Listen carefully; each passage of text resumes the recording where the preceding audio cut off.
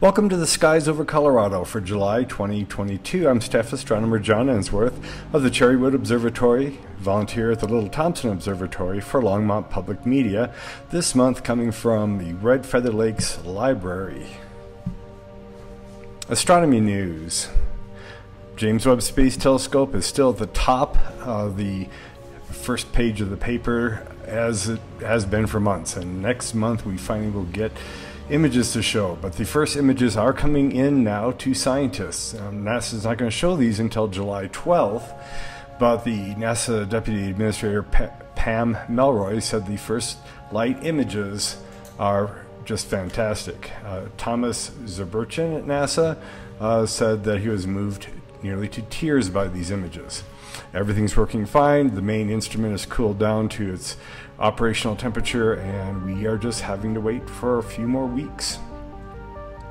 Citizen scientists detect dusty disks. So, this is an image actually taken by the European Southern Observatory's uh, Atacama Large Millimeter and Submillimeter Array. Uh, these gaps in this dusty infrared image are probably where planets are forming. Now, a long running program called Zooniverse that helped find unusually shaped galaxies and things like that using citizen scientists have come out with Disk Detective 2. You can go create your own account and it'll feed you images, and you get to tell the system whether you see stars that have dusty images like this. Again, the human eye and brain can outperform algorithms at this point, and they need your help. So, in the past, 30,000 members of the public have uh, found over 50,000 disc candidates. So, pretty, pretty big project, and they sure could use your eyes. Wildfire threatened the Kitt Peak National Observatory in June. Uh, fire climbed the slopes of the Kitt Peak Mountain uh, June 16th. By June 11th, uh, 27,000 acres had uh, burned uh, as of the 22nd. Uh, this is located 55 miles southwest of Tucson, south of Phoenix, about 110 miles. And from that mountain, you can see both uh, light domes of those cities. Uh, there are 20 optical telescopes, two radio dishes up there. One of the optical telescopes is a solar telescope and it's been in operation for a very long time. Um, some of the outbuildings were destroyed. A dormitory was destroyed. Uh, I got some observing time at this uh, observatory back in the uh, late 80s, and I, stayed in that dorm, so that's kind of sad. Big star parties this month. The 29th annual Nebraska Star Party, July 24th to the 30th.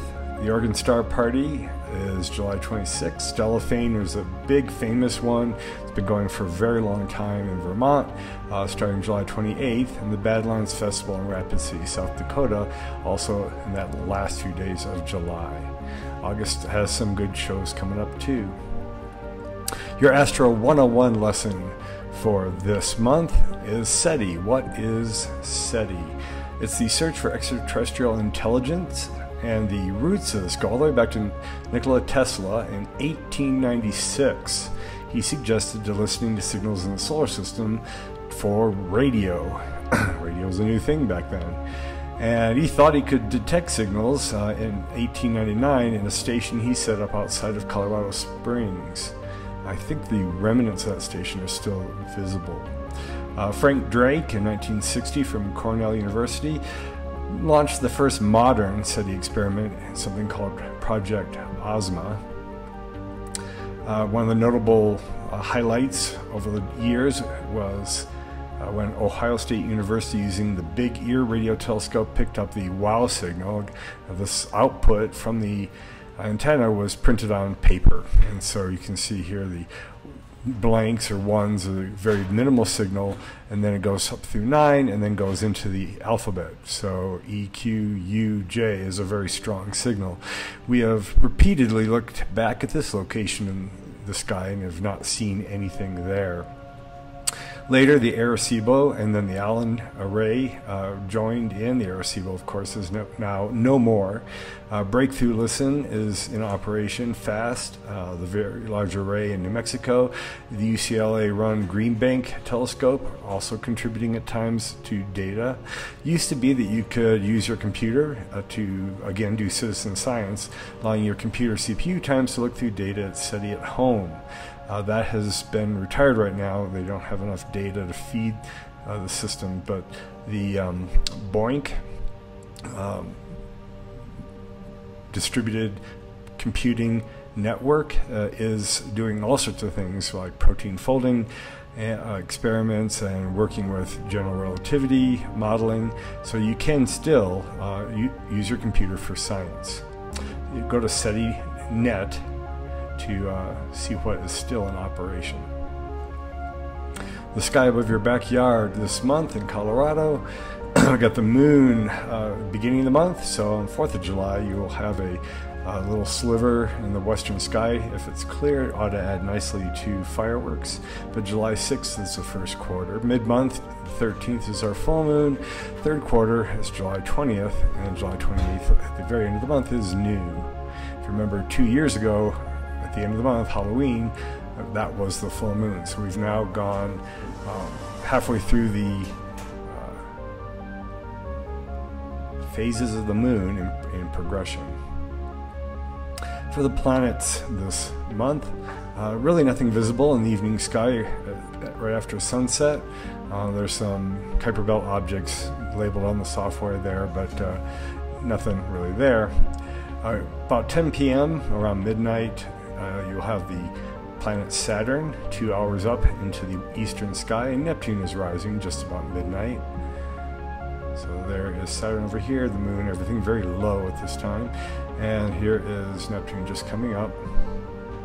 In the morning sky, that's where everybody is located. Saturn rises about eight hours before sunrise, Neptune about six and a half, Mars about five hours before, Jupiter two and a half hours before sunrise, Uranus and Venus two hours before sunrise, so they make a nice close pair. Uh, we have Mercury too close to the Sun for much of this month. So it's a traffic jam in the morning sky, but when we get four, five, six months from now, a lot of these planets will be in the evening sky, so it will be really great in the fall. The Sun for this uh, month, we have sunrise and the first going from 5:35 a.m. Uh, backing up to 5:58 a.m.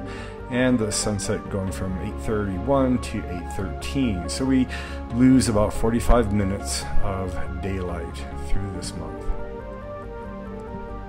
For sunspot uh, activity, uh, the 25th solar cycle is underway, and we are getting a lot more solar activity than we are expecting. Our predicted value was about 40. We're getting about 96, 97 sunspots uh, running up through May. This is always a month behind. And here's an image of the sun at the beginning of the month. We have a sunspot coming around the eastern limb here, sunspot about to uh, vanish on the other side. We have evidence of some large sunspots uh, going crazy on the backside because we can see coronal mass ejections using the SOHO Space Telescope. Your feature object for this month are actually two globular clusters in the constellation of Hercules. In previous months, we looked at arcing to Arcturus off the handle of the Big Dipper. There's Arcturus right there, the constellation of Boötes right there, and then down below to the lower left is the keystone of Hercules. I'll zoom in here. Keystone looks like that. There's the broad shoulders of Hercules, one arm up here, one arm here, narrow waist here. And M13 is over here on this side of his body. Um, its apparent magnitude is 5.8, so on a really dark night, uh, if you've got good eyes, you should be able to see a tiny fuzzy patch there. That is actually a uh, cluster of stars about 145 light years in diameter over 22,000 light years away. Going up here where the head of Hercules would be is another very nice uh, globular cluster. This is M13 here, here's M92 down here. It's a little dimmer at magnitude 6.4, it's a little more distant and slightly smaller, 109 light years in diameter. Your Colorado Observing Challenge for this month are the Southern Delta Aquariids meteor shower.